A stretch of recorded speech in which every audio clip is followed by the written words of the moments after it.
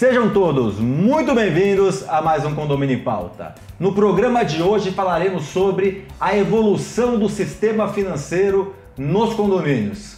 Como era antigamente, como está hoje, como será o futuro e atualmente, quais são os principais problemas, armadilhas, o melhor caminho. Esse assunto é muito interessante e vai te agregar muito.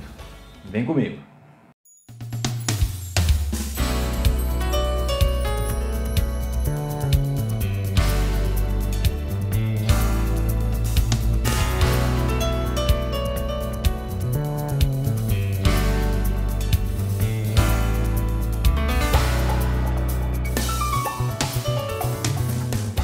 Os nossos convidados de hoje são Luiz Nakayama, síndico profissional de muito sucesso em Santa Catarina, em Florianópolis. Luiz, um prazer enorme ter você aqui com a gente, aqui nos nossos estúdios em São Paulo. Obrigado, obrigado. É um prazer também participar de, desses eventos de vocês, porque a gente acompanha, conhece o padrão do, do, do, dos convidados que você traz, então para mim foi uma honra. E Elaine Lourenço, gerente de condomínio com muitos e muitos anos de experiência, não vou falar quanto. E Por favor. Aqui em São Paulo, é, gerente dos condomínios referências é, em nosso estado. Seja muito bem-vinda, Elaine. Obrigada, Ricardo. É um prazer compartilhar hoje aqui no estúdio com vocês. O nosso síndico aqui extremamente experiente, né? Estou muito feliz, muito obrigada pelo convite. Nós que agradecemos. Luiz, começar com você. Uhum já que veio de tão longe, não tão longe, né? Mas já que veio de longe, pegou o avião, chegou hoje de manhã. Uhum. Luiz, quando você começou, a gente estava conversando aqui fora do ar, quando você iniciou como síndico, você falou que você fazia a parte financeira do condomínio. É, eu que fazia os balancetes, fazia obviamente os levantamentos para fazer os balancetes e fazia também os boletos, assim, na máquina de escrever, né? Algumas, na máquina de escrever. É, na máquina.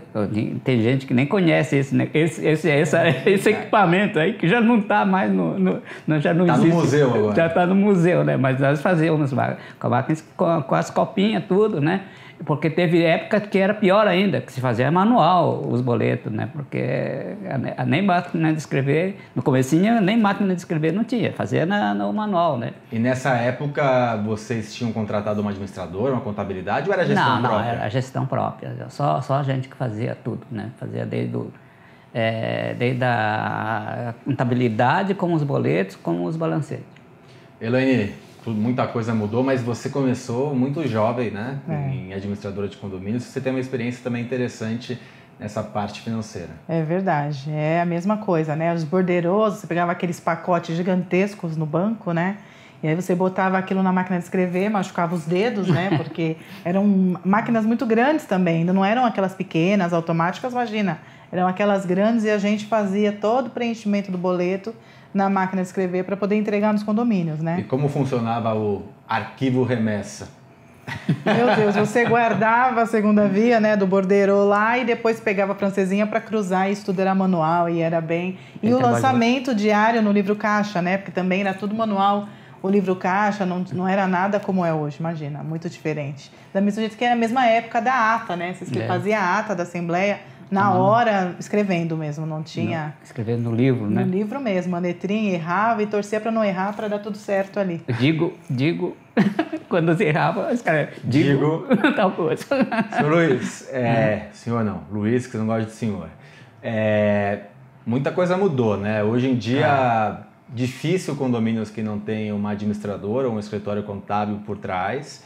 A gente tem muita legislação agora focado no segmento condominial. A parte tributária brasileira é outra, é, né? é muito complexa é, e, e, e, regionalizada, né? até por municípios, né? muda-se é. por municípios muitas vezes. Então, aqui em São Paulo, por exemplo, a Elaine toma conta de alguns condomínios de municípios diferentes e, os, e a parte tributária é totalmente diferente. Né? Totalmente. Né? Às vezes está duas esquinas, dois quarteirões um do outro e é, e é diferente a, a, a tributação.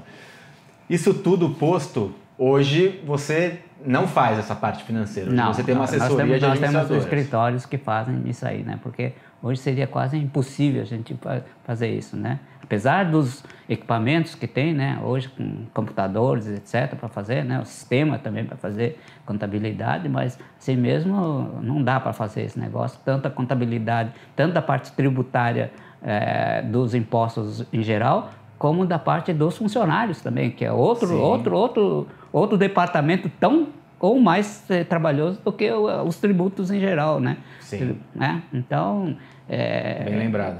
é quase impossível de a gente fazer. Por isso que é, quase todos os con- condomínios se, se, se é, processa através de um escritório de contabilidade, né? E aí, trazendo para dentro da administradora, Elaine, é, hoje tudo sistema, né?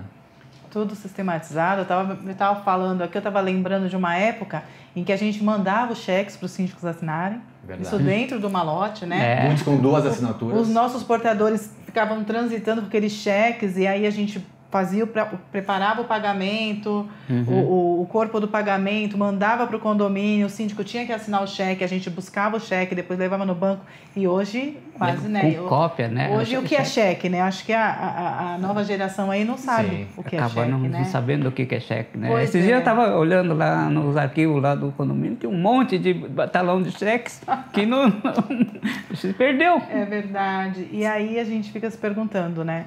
E hoje não, hoje um clique, né? E é. É. muito rápido, o sistema sobe tudo de uma vez, com um clique você autoriza ali todos aqueles pagamentos. Aí Somente- também a questão, desculpa interromper a questão que eu brinquei do arquivo remessa anteriormente.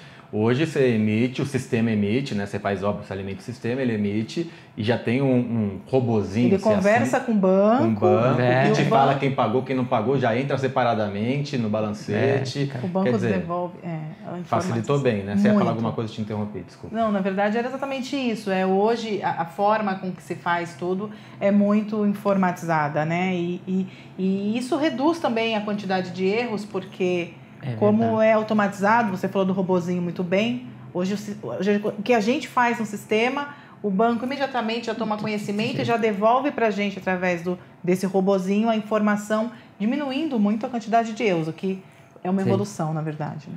E como que o síndico acompanha isso que a administradora faz? Então, esse é outro problema, né? Porque, em verdade, a gente acompanha é, através dos resultados, né? Porque que faz o balancete, porque eu mando o- os documentos por, por escritório, até aquele momento você não tem como checar muito, né? Porque quando você manda o documento ainda você não tem um resumo. Aí quando vem o balancete, aí sim você é obrigado a analisar. Eu faço a questão de analisar os balancetes que eu recebo, né? Então Pra você, você faz com a pasta física. com a pasta física, né? Eu faço duas análises, na verdade. Eu faço uma análise quando eu mando a, a documentação e faço uma análise quando eu recebo a- o, o balancete na pasta física. Então, eu faço duas análises para que, eh, vamos dizer, facilitar o entendimento do escritório de contabilidade de algum problema que tenha naquela documentação, porque tem coisa assim que se paga uma parte, paga outra parte, eh, eh, eh, desdobra, eh, você não sabe direito para que, que serve aquele negócio que foi comprado. Então, você tem que identificar isso para que o escritório consiga contabilizar direito. Né? Esse é um problema. E outra questão é que os ah, conselheiros saibam também o que, que é que aquele, por que, que foi comprado tal coisa, né? Então você tem que dar, um, dar um, uma anotação do que, que ah, como que foi comprado aquele negócio e para que, que foi comprado, né? Você que está nos assistindo, vale a pena um esclarecimento. Luiz, ele é de Santa Catarina e em Santa Catarina muitos condomínios são administrados por escritórios de contabilidade, assim chamado. E em São Paulo, a grande maioria, a Keilane representando São Paulo, por administradoras de condomínio. Não é só uma diferença na questão de, de classificação, como também muitas vezes em serviços. A gente vai falar um pouquinho sobre isso, não é o objetivo, mas só para esclarecer. Outra coisa, tá gostando do nosso programa? Já deu seu like, já comentou, já compartilhou, já divulgou? Nos ajude a divulgar informação de qualidade e melhorar esse segmento tão importante para a coletividade brasileira. Elaine, a sua realidade é um pouco diferente. Você hoje trabalha muito na questão aplicativo, estou falando para o síndico acompanhar, né? Aplicativo, site, pasta digital. Fala um pouquinho sobre isso. Sim, a, a gente busca, e eu acho que é o, é o futuro, né? A gente já, é, já entrando nisso, eu acho que a gente o futuro é eliminar o papel, né? Ser tudo digital, o condômino pagar o boleto e não precisar receber a via física. A gente tem trabalhado bastante aqui em São Paulo nesse sentido. O síndico receber a pasta, mas não mais aquele, aquele, aquele pacote de documentos, e sim entrar no aplicativo ou no site e conseguir acompanhar as contas de uma forma virtual. E vale a pena, né, citar que você vê o lançamento, clica no lançamento, abre a nota fiscal, abre o boleto, abre tudo que tem referente àquele lançamento, né? E a possibilidade, a qualidade fica muito melhor, né, Sim, do que a, do que a administradora pode oferecer, é 100% é muito melhor, porque você tem condições e, e ferramentas para propiciar que a pessoa analise as contas da onde ela quiser, em Sim. que momento ela quiser e sem precisar ficar carregando nenhum documento. E eu acho que esse é o futuro, é, essa é a nossa realidade hoje. A gente tem trabalhado muito fortemente nessa questão digital e, e o envio do documento de uma forma digital, o, o, o, link na pasta, de uma, tudo de uma forma digital para que a gente consiga minimizar ainda mais o, o a, a, a, o tráfico de documentos, né? Uhum. E eliminando os erros, né? Que é isso que a gente mundo, busca. E o mundo é tecnológico, né? A gente tentar facilitar, agilizar, eu acho que isso é importante. Eu quero mudar um pouco a nossa, o rumo da conversa, falar um pouco mais de planejamento. Né? Uhum. Como fazer com essa tecnologia toda, com essa mudança toda que tivemos nos últimos anos, últimas décadas? Quais são os, os percalços, armadilhas que a gente pode encontrar no meio do caminho? Os uhum. problemas com os condôminos, questão de fluxo de caixa. Bom, Vão pensando, vocês vão responder para mim isso daqui a pouco, no segundo bloco. E você que está em casa terá essas respostas e muito mais na sexta-feira. Até lá!